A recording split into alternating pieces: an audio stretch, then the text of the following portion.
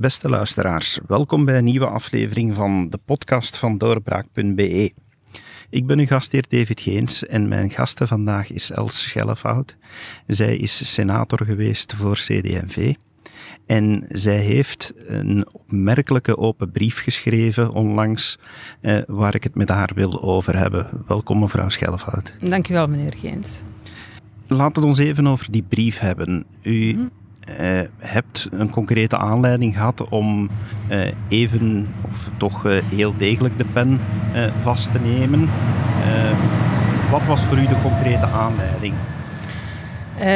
Er, er, was zeker en vast een concrete aanleiding, maar er was ook wel een aanloop. Um, mijn, mijn, uh, het, het, het, gevoel dat ik heb bij, bij de manier waarop de partij CD&V de dag van vandaag uh, werkt, handelt, functioneert, um, is al langer een gevoel van ja, uh, ontevredenheid, ongerustheid. Ik voelde mij daar al langer ongelukkig bij, moet ik wel zeggen. Maar de concrete aanleiding was uh, vorige week eigenlijk de, de berichten, het filmpje over de, de moord, want dat is het toch, op, op uh, meneer Chovanek. En dan het ontstellende gebrek aan politieke verantwoordelijkheid. dat er is de, de afstandelijke op geen enkele manier empathische reacties die daar zijn, de manier waarop mensen hun verantwoordelijkheid afwentelen op anderen. En dan ja, de houding van CD&V daarin, die, als ik dan de naam mag noemen, meneer Jan Bon de hand boven het hoofd blijft houden toch ook en zegt, dit is eigenlijk geen politiek probleem of dit is geen politiek majeur probleem. En dan denk ik. Maar dit is iets wat de mensen echt wel heel erg raakt. Zoals de moord op, op uh, Sandat Jas de mensen heel erg raakt. Dat is iets waar, waar mensen wel mee bezig zijn. En als ze dan zien dat de politiek zich daar op, op zo'n uh, gemakkelijke, platte manier vanaf maakt, dan raakt dat mensen. En dat heeft mij heel erg geraakt en dat heeft mij geschandaliseerd. En daarop heb ik, heb ik in mijn brief geschreven, CDMV, ik, ik schaam mij eigenlijk uh, voor jullie. Ik schaam mij voor de manier waarop jullie uh, de politiek verantwoordelijken in, in deze verschrikkelijke zaken de hand boven het hoofd blijven houden. Ik, ik schaam mij in, in de, de dubbelzinnige manier waarop daarover gecommuniceerd uh, wordt. En ik, ik, ik kan me daar niet in vinden, ik kan me daar niet, niet achter zetten. Uh, dat kwetst mij. Het enige waar jullie de dag van vandaag nog mee bezig zijn, is blijkbaar politieke strategieën om uh, aan de macht te blijven. En dan het liefst bij voorkeur met NVA, zo was het toch tot, tot voor enkele dagen.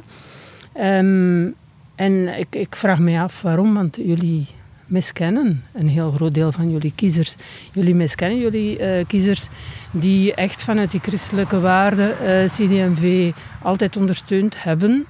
Uh, jullie miskennen jullie, jullie kiezers die, die, die helemaal niet die Vlaamse nationalistische toer op willen, die helemaal niet uh, ja, uh, scheidingsgeneigd zijn, laat het mij zo maar zeggen. Waarom blijven jullie, Christendemocratische Partij, zo halstarrig achter MVA aanhollen? wat bezielt jullie? Waarom negeren jullie ons? En is het niet mogelijk om een menselijker, christelijke, als ik dat woord dan nog maar eens mag gebruiken, maar is het niet mogelijk om, om, om zo'n houding aan te nemen? Maar uw brief was dus eigenlijk ook, als ik hem lees en als ik u zo hoor, niet alleen een aanklacht naar CD&V, maar naar de politiek in het algemeen. Van, want u zegt van ja, de manier waarop men, men tegenwoordig met strategie bezig is mhm. en niet meer met menselijke problemen, uh, zoals de, de, de, voorvallen die u genoemd hebt. Uh, ja, dan, dan is het toch eigenlijk bijna een brandbrief tegen de politiek mhm. geworden.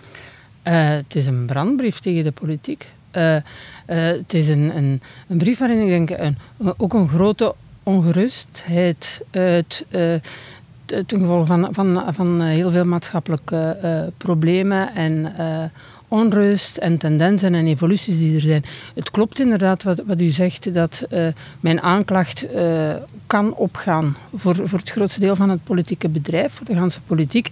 Maar ik was natuurlijk, tot ik die brief schreef, CD&V-lid. Uh, ik heb niet, niet de pretentie om uit naam van velen, velen aan te spreken.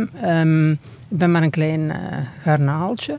Ik wou echt voor, mij, voor mijzelf uh, spreken en formuleren hoe ik het voel ten aanzien van, van een partij waar ik tot dan een rol in gespeeld heb. Maar je zou inderdaad kunnen opentrekken en zeggen, ja, dit is een aanklacht tegen de politiek, dit is een aanklacht tegen de manier waarop politieke spelletjes steeds weer... Hoe, hoe lang zijn we nu al bezig met die regeringsvorming?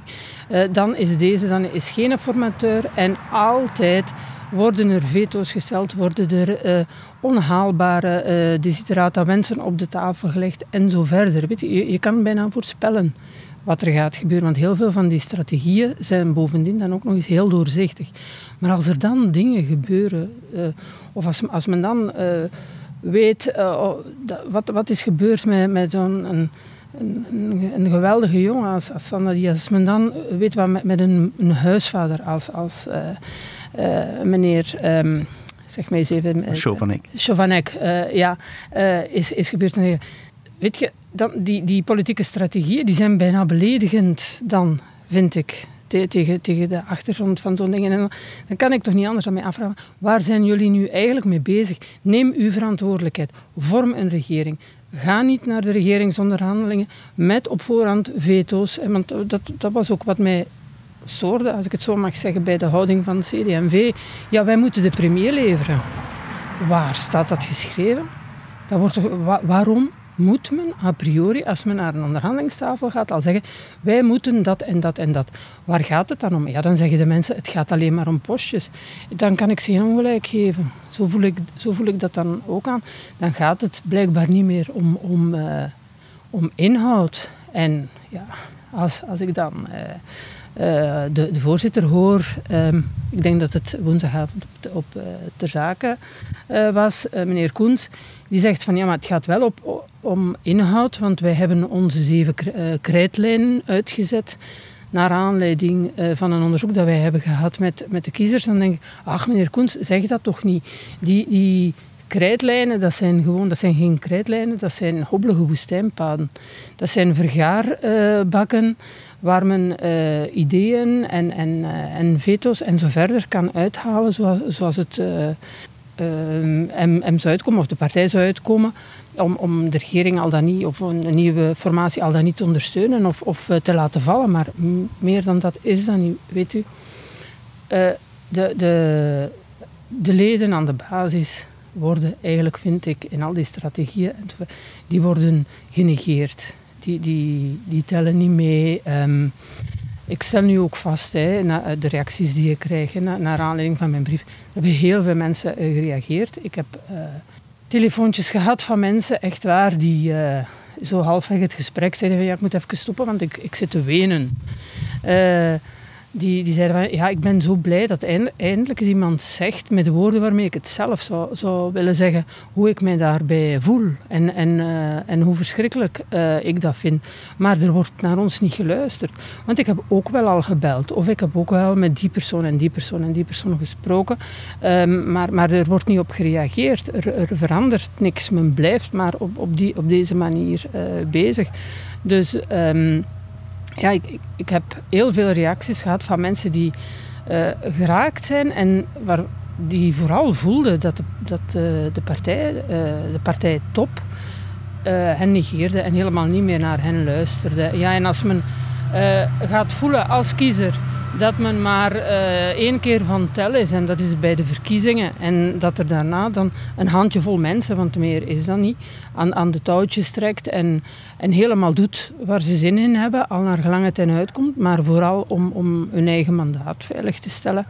Ja, dan, dan, uh, dan worden mensen uh, boos en zijn mensen teleurgesteld. En, en ik heb eigenlijk heel veel reactie gehad van mensen die zeiden van ja ik, ik was al lang van plan om hetzelfde te doen als u, of ik heb uh, dat al lang gedaan. Uh, ik stuur daar niet op aan. Hè. Ik, ik wil echt niet dat CD&V minder leden heeft. Ja, het zal één minder zijn, dat ben ik. Maar voor het overige, dat, is niet, dat was helemaal niet het doel van mijn brief. Maar ik zou eh, bijna vragen, hou op met te negeren wat daar aan de basis leeft en gebeurt. Want heel veel van, van, van de CD&V'ers, van die uh, goede, oude, echte christendemocraten, die zijn het helemaal niet eens met de koers die u, vijf mensen daar aan de top, uh, probeert uh, te varen. Die zijn het daar helemaal niet mee eens. Voor alle duidelijkheid, u hebt deze brief echt wel uit het persoonlijke aanvoelen mhm. geschreven. Hè. Het is niet dat u met tientallen mensen eerst contact hebt gehad die, die gezegd hebben, ah, je moet dit namens ons schrijven. Nee, helemaal niet. Ik, ik zal u zelfs uh, zeggen, ik heb geprobeerd om enkele mensen te contacteren met de vraag, want ik wou constructief zijn. Ik wou helemaal niet afbreken. Hè. Uh, um, nee, dat zoek ik niet, daar voel ik mezelf niet goed bij. Ik, ik wou dus eigenlijk iets positiefs doen en ik dacht, kunnen we niet met een aantal mensen eens een onderhoud vragen met de partijtop? Kunnen we daar eens niet over spreken? Um, maar ik heb van niemand reactie gekregen, van niemand. Eh, wat mij eigenlijk een beetje... Ja, ik, ik vreesde dat altijd bevestigt wat ik al, al dacht. Dat mensen die een mandaat hebben op vandaag, die, die vechten om uh, in een volgende regering of in een volgende context, om hun mandaat te kunnen behouden. Hè. Want ja, anders betekenen ze ook niks meer. ja. Een tweede toon die naar mijn aanvoelen in uw brief uh, toch wel duidelijk aanwezig was, is dat u inderdaad zei, en dan ja, eh, citeer ik u bijna letterlijk als u zegt van ja, stop met het nalopen van de Vlaamse nationalisten mhm. als, uh, als een hondje. Mm -hmm. dat zit u blijkbaar ook wel echt hoog, dat u, dat u vindt dat de CD&V op sommige momenten een aanhangsel lijkt van de N-VA. Uh, niet alleen een aanhangsel uh, lijkt. Hè. Uh, door wie wordt uh, eh, CD&V bestuurd? Door wie wordt CD&V geleid? Wat gebeurt er binnen CD&V zonder de goedkeuring van de, van de partijtop van NVA? Ik, ik, ik weet het niet, maar ik heb een vermoeden dat dat eigenlijk niet zo heel veel is. Ik, ik stel alleen maar vast dat er binnen CD&V mensen zijn die echt uh, N-VA achterna lopen, die het absoluut niet zien zitten om in een regering te stappen uh, zonder uh, N-VA. Um, en ik vraag me af waarom, want een groot deel van de leden van CD&V denkt daar totaal anders over. En dan uh, vroeg mij iemand van ja, is dat nu niet precies uh, de spreidstand van uh, eh, CD&V?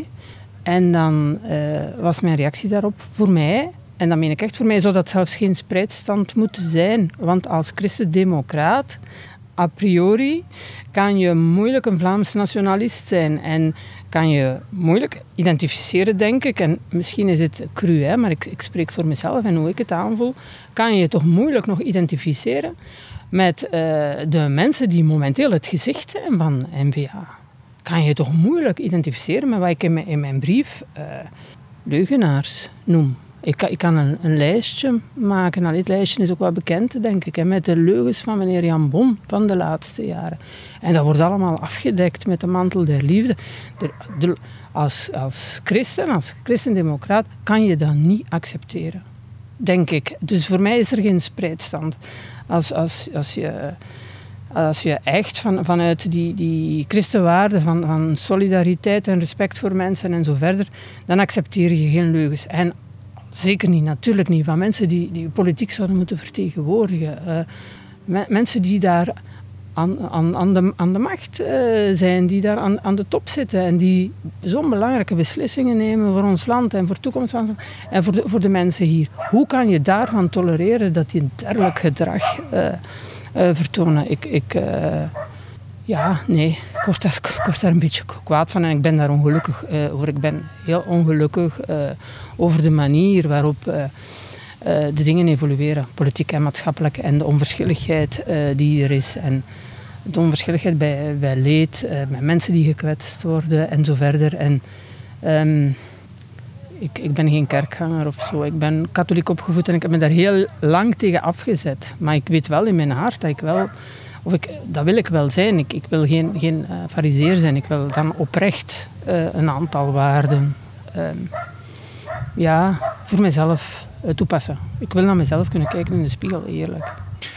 Ik zou dan kunnen stellen van dat u ook eigenlijk wel vindt dat zeker bij CD&V terug meer aandacht moet zijn voor die menselijke waarden, dat die C eigenlijk meer in de verf mag gezet worden dan de V van Vlaams. Ja, ja, absoluut. Maar wat, wat, is politiek? Politiek gaat over mensen. Hoe, hoe kan men die menselijke waarden niet, uh, alleen, niet uh, bovenaan dat lijstje zetten? Hoe, hoe kan men die niet belangrijk vinden? En um, het, probleem is, volgens mij, zoals ik het nu zie, hè, men probeert menselijke waarden um, te vertalen in politieke strategieën. Dat, dat is wat, wat, we nu toch ook wel zien in, in die uh, ganse COVID-crisis en als we, we zien op vlakken van gezondheid en welzijn en zo verder wat er, wat er gebeurt. Uh, het is zo tragisch en dit raakt zoveel mensen, maar dan zit je met hoeveel? Negen, zeven, negen bevoegde ministers op een of andere manier voor mondmaskers en weet ik veel wat nog allemaal. En dat, het menselijke, waar het eigenlijk over zou moeten gaan, dat dat, verdringt gewoon in, in, in die spelletjes en die strategieën uh, die men heel handig speelt. Hè, want het is eigenlijk wel gemakkelijk om zoveel ministers te hebben. En dan kan men voortdurend zo de zwarte piet uh, uh, doorgeven. Ja. -hmm. Hoopt u dat uw brief iets gaat veranderen? Oh, uh, ik, ik, weet het eigenlijk niet. Gisteren uh, heb ik nog tegen iemand gezegd, ja, ik, ik weet hoe dat gaat, ik ben daar realistisch in. Ik denk binnen dit en enkele dagen gaan we weer gewoon allemaal over naar de orde van de dag. Dus ik, ik, uh, ik denk niet dat mijn brief heel veel gaat veranderen. En ik denk dat als men het erop aankomt rond de onderhandelingstafel, dat, dat men nog altijd veto zal stellen en dat men nog altijd uh, zal vinden dat men de uh, premier moet leveren en uh, dat een aantal dingen niet bespreekbaar kunnen zijn en een aantal dingen precies wel. Dus ik, ik, ik denk dat ik, ik, denk dat ik ehm, absoluut een veel te kleine garnaal ben om al die politieke spelletjes en, en strategieën ja, ergens te doen, te doen stoppen. Of, of goed, hoe, moet ik het zeggen? Maar ja, uh, ik ben ook wel een positief mens. Ik, ik, ik, uh, ik hoop dat, dat, er, dat er nu misschien toch een, sneller een regering is. Sneller een regering is. laat dat dan Vivaldi zijn of, of Avanti of wat dan ook. Avanti. Ik weet echt ook niet waar men dat haalt. Maar, maar goed, whatever de naam is, is op zich niet belangrijk. Maar, maar uh, ja, dat een aantal mensen rond de tafel gaan zitten die, die los van uh, persoonlijke belangen um, uh, eerlijke discussies met elkaar willen aangaan. Dat hoop ik. En mm, ja, misschien is dat bij sommige mensen toch wel een heel klein beetje doorgedrongen. Dat dat iets is dat, dat leeft bij ons en dat leeft bij veel mensen, ja. Hebt u antwoord gekregen van iemand binnen CD&V? En dan ja, bedoel ik eigenlijk wel de top, uh, die, die de moeite heeft gehad om te zeggen van kijk mevrouw Schelfhout, van wat u daar schrijft, van wij begrijpen dat en, en wij willen mhm. daarop reageren? Um, nee. nee, ik kan daar eigenlijk heel kort op antwoorden. Ik heb... Uh, ik heb de antwoord niet gekregen. Ik heb uh, op ter zake, denk ik, meneer Koens horen zeggen dat hij ooit voor mij gestemd heeft. Dus misschien is er toch ergens een heel klein beetje sympathie. En, en uh, ja, misschien is meneer Koens zelfs mijn, mijn, uh, mijn oproep niet, uh, ja, moet ik zeggen, ongenegen. In de zin van, ik, ik, denk dat, dat meneer Koens op zich best wel een breeddenkend, tolerant en geëngageerd mens is. Dat hij het wel goed meent. Maar ik, ik, denk dat meneer Koens op vandaag niet degene is die, die uh, de pionnen moet verzetten of zal verzetten voor, voor eh, CD&V. Misschien, ja, misschien verandert dat nu. Dus, uh, maar nee, ik heb, om, om echt concreet op uw vraag te antwoorden, ik heb van niemand een reactie gekregen. Ik heb alleen gezien dat op Canvas, wie was het? Mevrouw Wivina de Meester was uitgenodigd en dat zij met haar ogen draaide bij de naam uh, El Schelfhout. En dan heb ik me de bedenking gemaakt van oké, goed, dat is dus de manier waarop men uh, met, met, uh, met meningen en, en, en, gevoelens van, vanuit de basis omgaat. En dan gaan we met de ogen draaien. Dus zal er veel veranderen? nee, ik denk, ik blijf bescheiden. Ik blijf wel altijd hopen, ja. Hoop doet leven natuurlijk. Absoluut, ja. We, we zien natuurlijk dat er in de politiek uh, heel veel verandert. Uh, dat het uh, een, een heel andere stijl geworden is van Zou u op dit moment nog willen delen uitmaken van politiek? Je hebt, eh, je hebt toch een behoorlijke bagage meegekregen en ervaring opgedaan als senator en, en dergelijke. Denkt u dat, u mhm. dat u zelf nu nog aan politiek zou willen doen? Ehm, ik denk dat ik, ik zou als ik voor politiek gemaakt was, was ik misschien nu nog actief in, in uh, politiek. Uh, uh, dat politiek bedrijf is mij eigenlijk redelijk hard gevallen. Ik heb niet het gevoel gehad dat ik daar echt in paste, omdat ik... Um, ik heb het niet in mij om mee te lopen. Helemaal niet. En ja...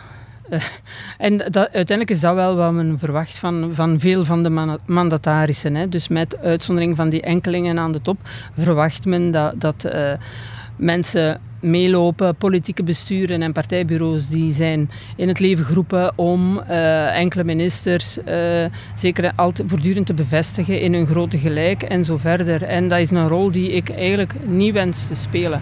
Moest politiek op een goede dag, en ik blijf hopen en dromen, als politiek op een andere manier kan georganiseerd worden en als men echt vanuit de basis een aantal dingen zou kunnen opbouwen ja, dan, dan, dan zou ik misschien wel de uitdaging aangaan. Maar ik kan nooit de, ik zal nooit rol kunnen spelen van, van een uh, strategisch machtspoliticus. Dus het spel waar een aantal mensen heel goed in zijn, is absoluut niet voor mij weggelegd. Nee.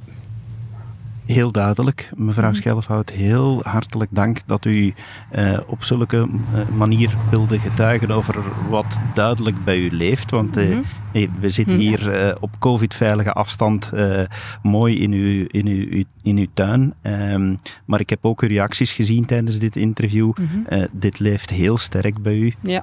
merk ik. Dus ik ben heel dankbaar dat u dat hebt willen, willen meegeven aan onze luisteraars. Graag gedaan. En uw beste luisteraars, eh, we hopen dat eh, u toch eh, van dit interview een aantal dingen meeneemt en dat u ziet dat er ook mensen zijn die over politiek nadenken vanuit een totaal andere manier. Dankjewel dat u erbij aanwezig was eh, tijdens deze podcast. Beluister zeker ook eh, onze andere afleveringen. En als u graag onze podcast wil steunen, bekijk dan zeker ook eens hoe u vriend kan worden van Doorbraak, zodat we kunnen blijven doorgaan met dit initiatief. Graag tot een volgende keer. Dag. Dit was een episode van Doorbraak Radio, de podcast van doorbraak.be. Volg onze podcast op doorbraak.be radio of via Apple Podcasts, Overcast of Spotify. Bezoek ook onze website op doorbraak.be en steun ons door een vriend te worden van Doorbraak.